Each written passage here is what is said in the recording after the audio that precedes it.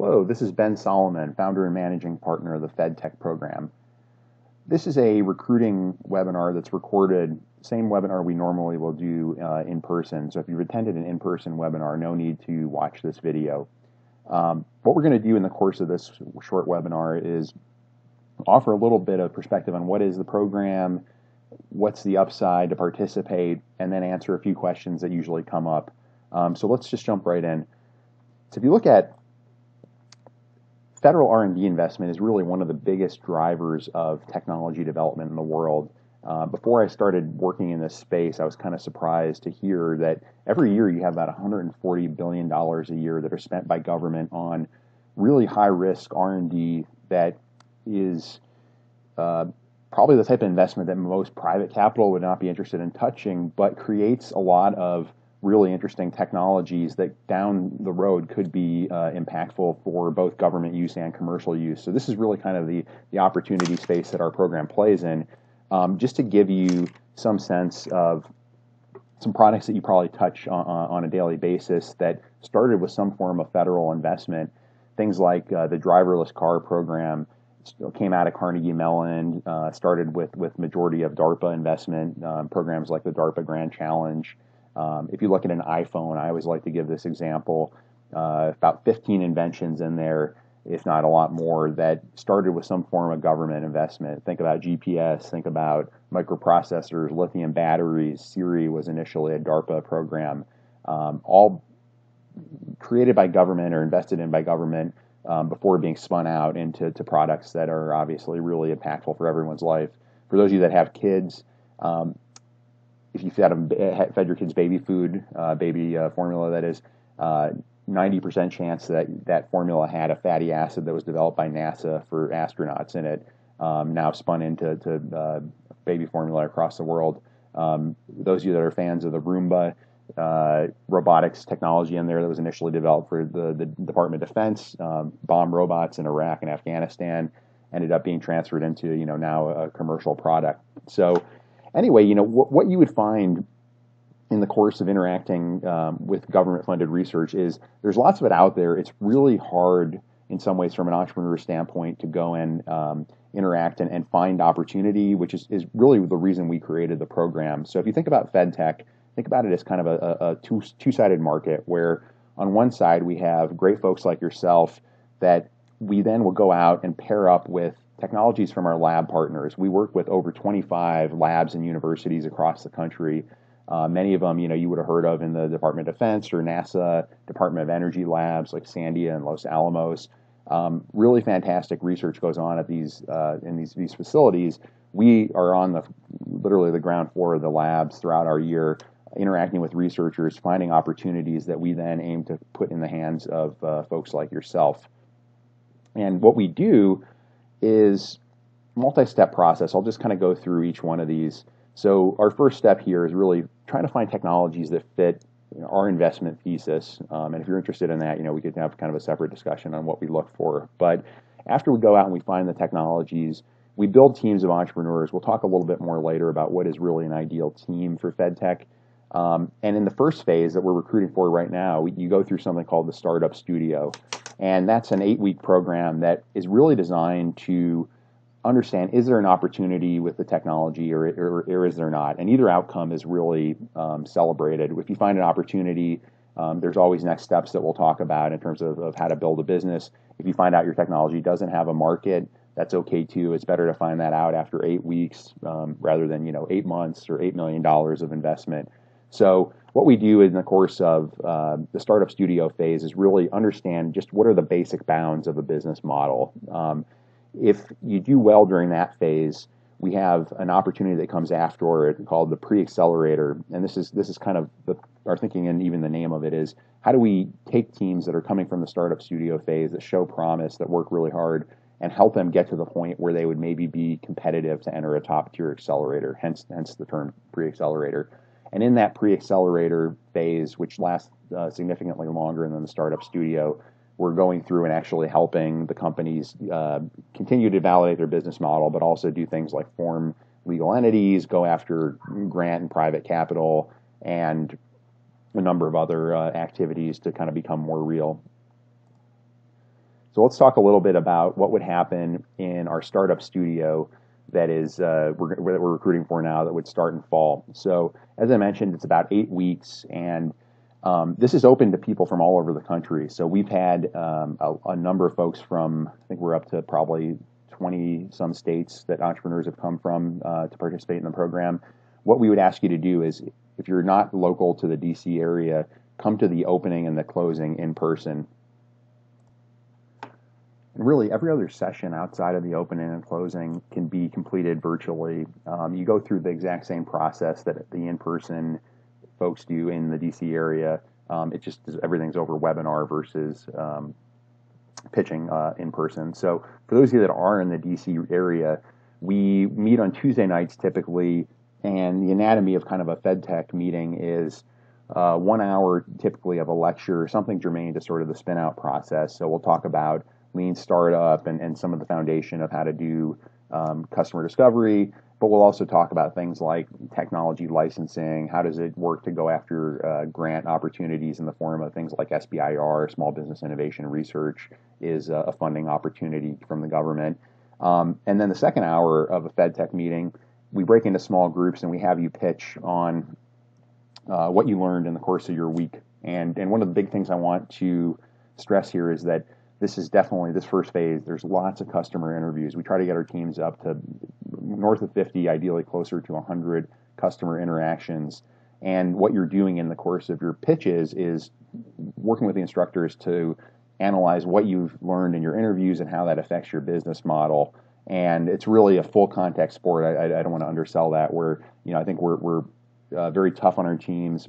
Everything is out of uh, love and, and you know with the goal of uh, getting our teams to make a lot of progress. But it's definitely something where you're going to be interrupted. You're going to have your assumptions challenged. Um, but again, you know it's all for the goal of, of kind of moving forward. Um, I guess to hit again on, on one thing that is, is often challenging for the teams is okay, you know, we pair you up around a new technology and you go through a process of learning about that technology, working with the inventor, understanding the um, tech landscape. But then, really quickly, we force you to go out and start interviewing real people to understand is this technology um, valuable at all? And that's often hard for people. Uh, we, you do have to make cold calls. You got to hustle. Uh, so really, you know, if that's something that you feel like is not what you really want to do, you know, we, we really um, would encourage you to, to, to, look at a different type of program. This is really an out of the building, customer focused, customer discovery type of activity. Um, but you're not alone at all. So mention a little bit. So we have an amazing teaching team that will be there. Uh, everybody comes from the venture world in some form or fashion. We have mentors and advisors that have spun out companies from federal research in the past. We have people that are angel investors that um, have have made investments kind of in gov tech space. Uh, and these folks are all there really to help you um, make introductions when possible, help you analyze what what at times can be challenging feedback from the market. Um, so it's really, you know, everybody's on your side, but it is a, a, lot of hustle to try to get enough interviews in that can really become, you know, relevant in terms of understanding if you have something or not.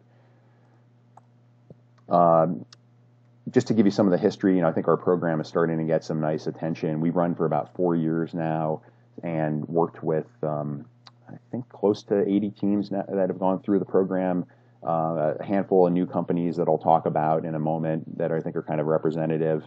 Um, I always tell people that are new to the program that really this is kind of a long game of entrepreneurship where we go out and we find really impactful technologies that are often you know half cooked, um, take a long time to get to be looking more like a product, but they're potentially life changing, you know, society changing technologies if you're looking for something that maybe is more in a, a consumer internet space or something that you, where you can kind of form a company, raise a lot of money quickly, um, and start selling a product or getting users, that's not really our, our game as much. Unfortunately, we we um, it does take a few years to kind of get these technologies out of the lab. Doesn't mean that there's not a huge financial opportunity downstream, but it just just takes a little bit of time. We have a handful of different roles that I'll talk about here. So I think most of the people on this uh, webinar will be entrepreneur candidates. What we ask for the entrepreneurs is that you commit 10 to 15 hours a week uh, throughout the seven or eight weeks that we uh, work with you. And this is really intentional to try to make this doable with people that have a full time job. Everyone that's participated in the program, for the most part, has a, a full time job, and they're doing this as kind of a side hustle. And because we're not providing funding at this stage, we really want um, you to, to be able to do this kind of on the fringes of your, your, your job. It doesn't mean that it's not hard. It doesn't mean that you can't. Um, I always say to people that if, if, your job is 100% inflexible, meaning you're chained to a desk, you can never take one call during, during the day or never do any activities. This might not be super easy, but there have been a lot of people that have participated that are coming at this as kind of a, a, a side hustle. Uh, for mentors, uh, we chances are have a couple mentors that are watching this, mentor candidates, much less intensive. We ask you to commit about 30 hours, uh, sorry, 30, 30 minutes a week and uh, attend some of the in-person sessions if you can. Every entrepreneur team will have a mentor that's that's working with them um, in addition to the teaching team. And I don't think that we'll have inventors on this uh, webinar, but to talk a little bit about the inventor role and even the interplay between the entrepreneurs and the, the inventors, I would say about 90% of all the inventors we work with are more kind of technical consultants to the entrepreneur team. The entrepreneurs are going through the process of doing the customer interviews and are really representing the team in person. Um, we ask the inventors to be available to the entrepreneurs to answer questions and to really try to transfer as much knowledge as possible. Uh, usually that's a one hour to two hour week commitment. We do uh, occasionally get the inventors that are incredibly enthusiastic and are really full team members. That's great. Um, but we've had a good number of good outcomes that uh, where that's not necessarily the case where the inventor is incredibly involved. Um, we would definitely never pair any team up with an inventor that is not uh, enthusiastic about the process, though. That's kind of our, our question number one when we're going out and we're trying to find technology. So what I'll do is just give you a couple examples of kind of what this looks like in, in reality, um, kind of make this uh, slightly more tangible. So just give some examples of some of the teams that we're working with now that we're, we're, we're proud of. So um, this first one here, this is a material science technology that was developed uh, in a Navy lab out on the West Coast. Um, the lab itself does a lot within metrology, so the science of measurement. There happened to be this one really smart um, Caltech uh, PhD um, researcher that on his side kind of internal r&d project developed this new glass foam that had a lot of really interesting strength to weight characteristics. Um, pretty quickly the navy saw that there was an opportunity potentially to use this new material on the uh, SEAL delivery vehicle. So if you're a fan of uh, special forces at all and you've seen the, the, the, little things that kind of drive the seals uh, little vehicles that drive the seals underwater to get them close to wherever they're going um, but the, the technology was kind of in a test tube. Essentially, it was like the size they could manufacture this material about the size of a cigarette, um, not anything that was really scalable. We built a team around it a few years ago that um, consisted of a couple business types, one uh, material science PhD, and they went out, went through a cohort. They did an amazing job in the cohort. Looked at all these different use cases for this glass foam. I remember they went and they watched um, cars uh, uh, demolition testing where um, cars are you know crashing into um, uh, walls to to get a sense of you know whether this could be used for uh, car bumpers. They talked to um, athletic helmet manufacturers. They looked at all these different markets and ultimately found kind of a niche within autonomous underwater vehicles. So using this uh, material kind of for the original purpose for the, the underwater use case. Um, and the team, you know, went through licensing. They signed a collaborative agreement with the Navy to work with the inventor. And just in the last couple months, have actually started selling this product commercially. Um, took a while to kind of scale the manufacturing, but they now are able to take this material that was only manufacturable in a size of a cigarette, and now it can be made in giant blocks. Um, really neat, neat example. The team just won $150,000 SBIR uh, a month ago and uh, we hope is really off to the races. So again, takes a little bit of time, but really cool technology that could change uh, a lot of people's lives, hopefully. Other examples. So this is kind of a newer team that we think is going to be really interesting. So Sandia National Lab is a, a fantastic facility out in Albuquerque, New Mexico, that uh, does all sorts of research. So they they do a lot within uh, nuclear weapons programs is kind of their super secret side of the lab, but they also will do medical research. They do cybersecurity research, which is, is what this technology represents. But we identified a, a really enthusiastic um, inventor that had come up with this uh, unspoofable, unclonable electronic signature that he always thought had really wide commercial potential. So he entered the program. We paired him up with three entrepreneurs that um, had never met each other, but in the course of going through the program, you know, you never would have known that they they just could not have hit it off uh, better. And we just graduated them uh, in uh, May of this year, and we already have them applying to, to grant opportunities, and they're going to be going through and licensing. So kind of a newer newer team, but um, this is actually I think going to be one of our first times where the inventor actually joins as a co-founder. So pretty uh, excited about that, and we're starting to introduce this team even to larger corporate partners that could help them kind of incubate this technology. Um, just one more example here. One of our first uh, teams that ever formed a company out of the program was working with a fabric coating from uh, Naval Research Lab, which is a big research facility just um, outside of DC. And similar story as the previous Navy team, great technology, initially developed to break down nerve gas. So the idea is you could coat a uniform with this um, and not have to wear a full body hazmat suit, especially out in, in desert heat. Um, pretty interesting, stuck kind of in a lab environment, even though there had been millions of dollars invested in it. We paired up an entrepreneur around the technology, and he went out and formed a company and has gradually, you know, been able to scale the production of this material. It was initially printed on a, a handkerchief size material. Now it's able to be printed on a something the size of a shirt, gradually larger and larger, um, and it's getting really close to signing a major distribution deal where this will actually be impregnated this material on um, a variety of different garments used by uh, soldiers and first responders. So, um, yeah. So anyway, if this sounds like something that could be interesting to you, um, general next steps that we'll have you go through would be to express interest in the form of an email to uh, myself or my colleague Jake, um, who works with me on the program. And what we would do is just a short interview where we just try to figure out if this is kind of a good opportunity for you in general. And, and that's usually relatively obvious based on kind of what your goals and your interests are. And um, yes, yeah, so we'll do an interview in the next uh, few weeks. And um, throughout summer, we if, if you're accepted, there's kind of three outcomes that we would um, uh, give you, um, hopefully relatively soon after the interview. One would be accepted, one would be not accepted, and then the other would be waitlisted. If you're accepted, what we would do is start to form up uh, teams throughout summer, pair you up with your researcher, and um, this would all lead up to the start of the cohort. And I'll talk more about kind of the, the dates and the logistics. Um, if you're declined, you know, we always would uh, uh, encourage you to apply again in the future. We're happy to give you feedback and, and offer just general resources kind of on how to work with um, R&D labs or universities. Waitlisted is something we're going to try where um, we'll have you uh, be kind of on call if a team's if a spot opens up as we get closer to the cohort, and we'll also give you preferential admission to a future cohort if you end up being waitlisted.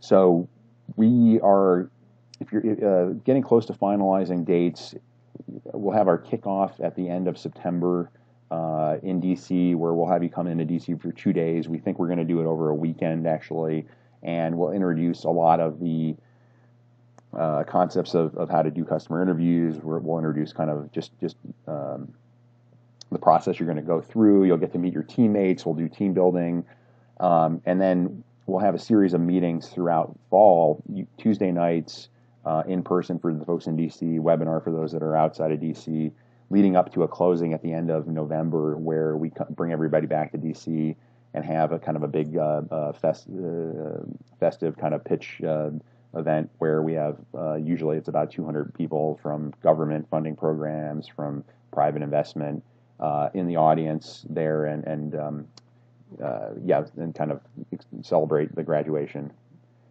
So for those of you that have uh, questions that maybe I didn't answer here, definitely encourage you to go to our website, frequently asked questions. Um, there's lots of good information on there. If, if you don't find that your question is answered, please email um, myself or, or, submit a question on the website. We're always happy to uh, answer and, and, make sure that everybody kind of knows what they're getting into. But again, you know, big idea here is if you are interested in this as an opportunity, uh, express interest ASAP. We'll get an interview scheduled. Um, if you have not applied also online, please do that as, as actually the first step. So just to make sure you get into the system, just go to our website, submit an application, and uh, we'll get, get, get back with you uh, really quickly. So thanks to everybody for taking a little bit of time. Uh, definitely would be excited to get to meet you in person and think this is kind of a unique offering. You know, for those of you that are passionate about maybe starting a tech company but maybe have not found that perfect idea or have that perfect co-founder, we kind of provide that in the form of the program. And um, when things go well, uh, seeing teams find their market and maybe start a company around a technology that they had never had any idea existed before this program is really, really satisfying from our perspective. So hopefully that's going to be uh, you in the fall and looking forward to it. Thanks all.